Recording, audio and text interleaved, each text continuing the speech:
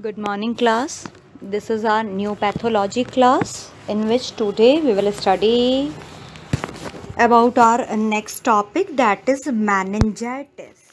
As the name indicate meningitis is the inflammation of meninges that is covering of brain and spinal cord.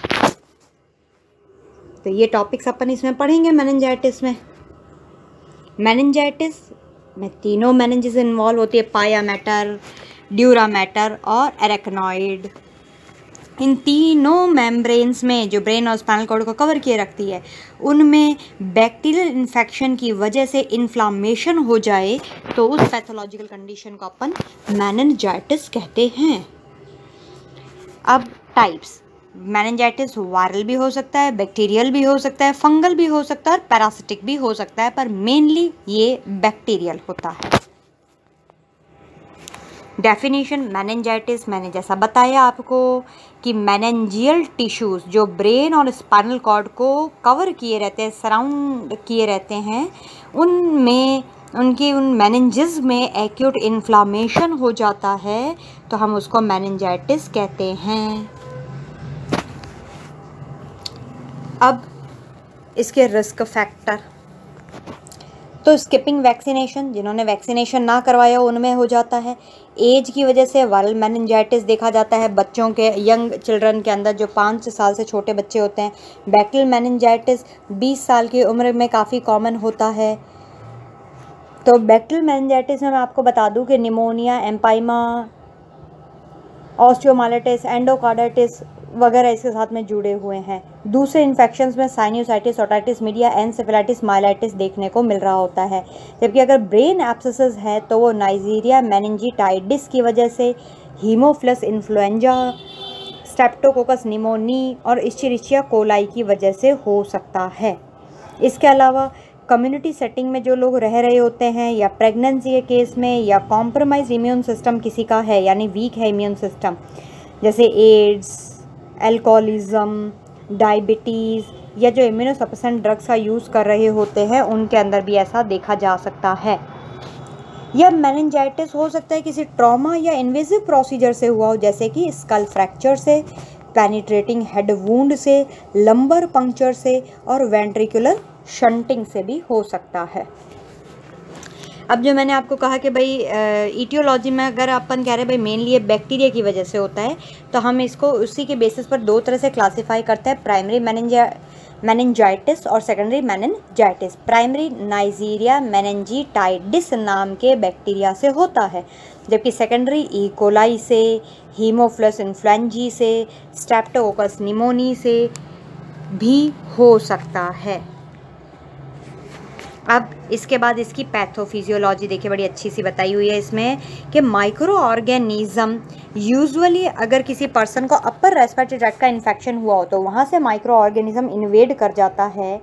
ये bacterial invasion जो है, वो हमारे blood supply में brain की blood supply से जो है, वहाँ मैनेजेस में पहुँच जाता है। मैसिव न्यूट्रोफिल का माइग्रेशन भी वहाँ पर होएगा। न्यूट्रोफिल जो है उन बैक्टीरिया को एनगल्फ करके डिसेंटिग्रेट कर देती है और वहाँ पे टिश्यू डिस्ट्रक्शन की वजह से एक्जुडेट हो जाता है, जिससे कि प्यूरुलेंट मटेरियल यानी पस वाला मटेरियल हमारे ब्रेन में इकट्ठा हो जाएगा। ये प्यूरुलेंट मटेरियल जो है वो, उसकी वजह से जो मैनेजेस है, वो इन्फ्लेम्ड हो जाएगी, यानी इन्फ्लामेशन उसमें हो जाएगा, सूजन आ जाएगी और वहाँ का इंट्राक्रिनल प्रेशर जो है वो बढ़ जाएगा, जिससे कि एंटी डायूरेटिक हार्मोन का रिलीज़ ज़्यादा होने लग जाएगा। एडीएच की वजह से यूरिनेशन इनहिबिट हो जाएगा, जिससे कि बॉडी के अंदर वाटर रिटेंशन होने लग जाएगा। भाई वाटर निकल नहीं रहा यूरिन रुक गया तो यानी वाटर इकट्ठा हो जाएगा बॉडी के अंदर वाटर रिटेंशन होएगा और यूरिन कम पास हो रहा है, यानी ऑलिगो यूरिया की कंडीशन हो जाएगी। हाइपर वोलामिया यानी भाई, हम कह रहे हैं वाटर रिटेंशन हो रहा है फ्लूड जो है वो बॉडी से बाहर नहीं निकल रहा तो वो इकट्ठा ज़्यादा हो गया बॉडी के अंदर फ्लूड का वॉल्यूम, ब्लड का वॉल्यूम ज़्यादा हो गया, उस कंडीशन को अपन कहते हैं हाइपर वोलेमिया और हाइपोनेट्रीमिया पोटेशियम का अमाउंट कम हो जाएगा, जिससे कि और ज़्यादा आईसीपी जो है वो बढ़ जाएगा। अब क्लिनिकल मैनिफेस्टेशन, क्या साइन सिम्टम दिखाई देंगे? तो बुखार होगी, चिल्स होगा, मेलाइज यानी बदन दर्द होने लग जाएगा, बीमारी जैसी फीलिंग आएगी, इन्फेक्शन और इन्फ्लामेशन की वजह से। नेक में स्टिफनेस आ जाती है, गर्दन अकड़ जाती है। थाई फ्लैक्जन के अंदर प्रॉब्लम आती है, जैसे यहाँ पे दिखाया गया कि डॉक्टर उसका चेकअप करा है, थाई को फ्लैक्स करके देख रहा है। Thigh flexion upon flexion of the neck. इसको ब्रजिंगे साइन कहते हैं अपन, जबकि नेक में स्टिफनेस को अपन न्यूकल रिजिडिटी कहते हैं। इसके अलावा नी के पैसिव एक्सटेंशन में भी रुकावट आती है। पैसिव भी एक्सटेंड आप उसको कर नहीं पाते, हिप फ्लेक्स के साथ इसको कर्निक्स साइन कहते हैं। इसके अलावा वॉमिटिंग होने लगती है, लाइट से डर लगने लगता है पर्सन को। पैटेचिया रैशेस बन जाते हैं, पिन हेड लाइक रैशेस होते हैं, उसको पैटेचिया कहते हैं। एक्यूट कन्फ्यूज़न की कंडीशन आ जाती है दिमाग की परेशानी तो कन्फ्यूज़न जैसी तो आम साइन सिम्टम सब में दिखते ही हैं। दौरे पड़ने लगते हैं क्रेनियल नर्व में पालसी हो जाती है और सीवियर केसेस में कॉमा भी पर्सन को हो जाता है। अब डायग्नोस कैसे करेंगे? हिस्ट्री कलेक्ट कर सकते हैं अपन फ़िज़िकल एग्ज़ामिनेशन करके देख सकते हैं ब्लड को कल्चर कर सकते हैं।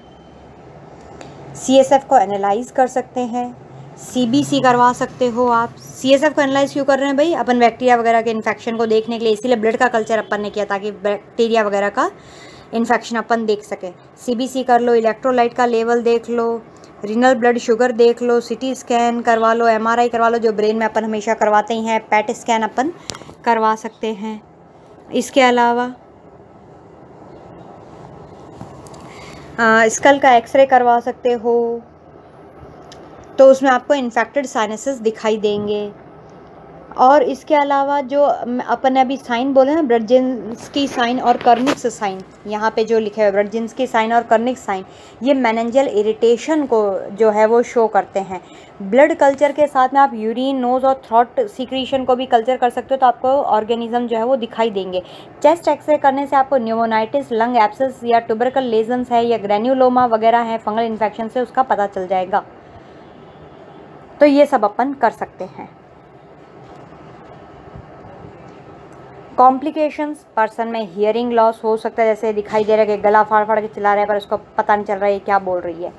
मेमोरी तो क्योंकि ब्रेन की बीमारी तो मेमोरी डिफ़िकल्ट होना वैसे आम बात है।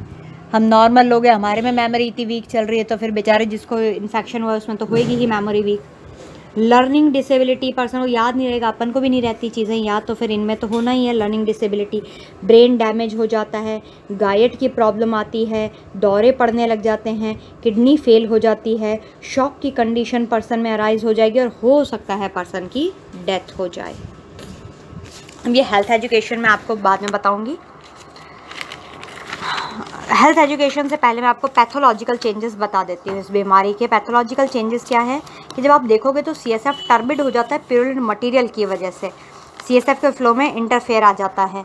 ब्रेन में स्वेलिंग दिखाई देगी थिक एक्जोडेट दिखाई देगा ट्यूबरकल दिखाई दे सकते हैं बैक्टल मैनजाइटिस में ब्रेन में एप्सस यानी पस पड़ जाता है। बहुत सारे न्यूट्रोफिल्स आपको सब एरेक्नॉइड स्पेस में दिखाई देंगे।